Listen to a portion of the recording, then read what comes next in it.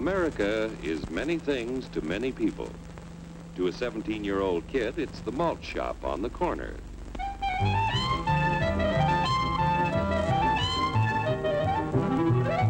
To Grandpa, it's the front porch in the cool of the evening.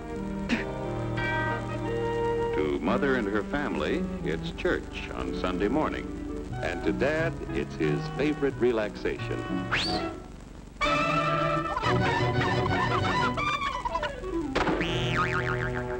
It's the Cracker Barrel philosophers in Crabtree Corners. And it's the tycoons in Wall Street. It's all races, creeds, and religions. It's freedom to work at the job you like. Freedom of speech and to peaceably assemble. Freedom to own property. Security from unlawful search or seizure. Where's your warrant, Flatfoot? The right to a speedy and public trial. Protection against cruel punishments and excessive fines. The right to vote. And to worship God in your own way. It is these freedoms that have made America strong. Okay, okay, so we got our freedom. But management's lousing up everything. Labor is at fault. It's ruining the country. My constituents, as your elected representative, I can assure you Labor's right. Management's right. I'm strictly neutral. Labor, management, politicians, fooey. Uh, they can't tell corn from oats. Work! It's only take the money out of Strike! Hurry, hurry, hurry. Step right up, folks. Here's the answer to your problems. Dr. Utopia's sensational new discovery, ISM. ISM will cure any ailment of the body politic. It's terrific. It's tremendous. Once you swallow the contents of this bottle, you'll have the bountiful benefit of higher wages, shorter hours, and security. Enormous profits, no strikes. Remember, you're the big boss. Government control, no worry about votes. Name your own salary. Bigger crops, lower costs. Why, ISM even makes the weather perfect every day. And now then, because we are introducing this amazing item for the first time in this country, it isn't going to cost you one cent. All you have to do is sign this little scrap of paper, and you get your bottle absolutely free. I hereby turn over to ISM Incorporated everything I have, including my freedom and the freedom of my children and my children's children, in return for which said ISM promises to take care of me forever. I was here first. I paid two bottles. Get out of the way. Get out of the way. Pardon me. Pardon me. And who are you, my good man? I'm John Q. Public. Ah, my fine friend, you're just in time to share this generous and gigantic offer. Sign right here. Mm, mind if I read it first?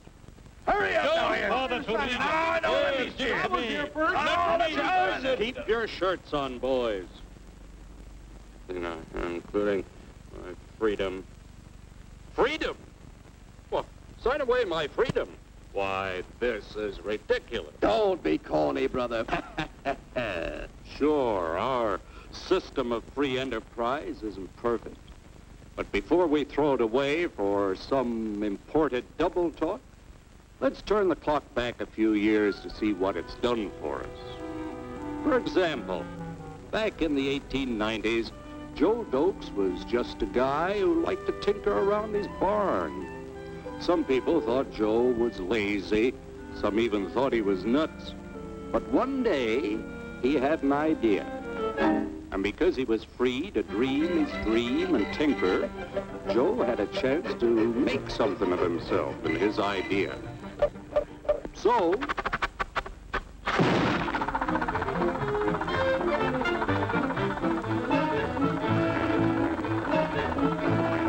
of course, some people didn't think so much of Joe's idea. But that didn't stop him. So Joe got some money from young Aunt Minnie and Uncle Angus and Grandpappy and Mr. Titus. When Joe's friends and relatives used their savings to help him buy tools and property, they were capitalists. Don't blush, folks. It's nothing to be ashamed of. Now, naturally, Joe needed some help. So he hired Willie Lumpkin, who was out of work anyway, and before long, Willie had the know-how and became skilled labor. Because capital, management, and labor worked together, Joe's idea grew. It grew and did things even he never dreamed of. Today, the automobile industry provides millions of jobs that never existed before. And remember, this is a story of only one industry. There are thousands more scattered all over the United States whose history of development is pretty much the same. We've built a country under the American system that sends more young people to high school and college than all the rest of the world combined. Why, even in the Depression, our wages bought more food, clothing, travel, and entertainment than the wages of any other people in the world. Our country has a national income equal to the total national incomes of any other six nation in the world. With only 7% of the Earth's we drive 70% of the world's automobiles. That's just a sample of the things the capitalistic system has given us in only 160 years. Before signing up, you boys ought to try a little taste of Doctorism's formula to see what you'd get in exchange for your freedom. Go ahead, try it.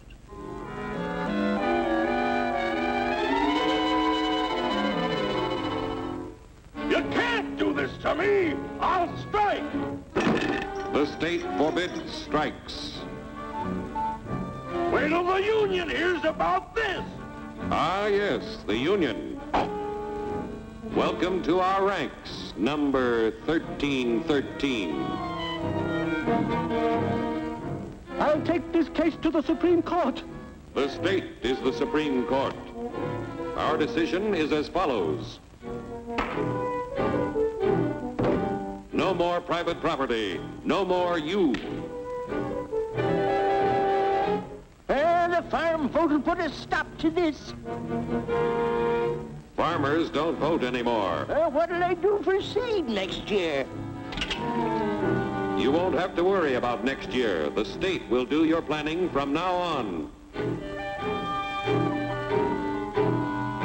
We must fight to regain our freedom, or everything is lost. Everything! Everything is fine. Everything is fine. Everything is fine. Everything is fine. Everything is fine. When anybody preaches disunity, tries to pit one of us against the other through class warfare, race hatred, or religious intolerance, you know that person seeks to rob us of our freedom and destroy our very lives. And we know what to do about it. And now, gentlemen, no violence, please. And don't throw those bottles. Don't throw those bottles. No! Oh, no, no!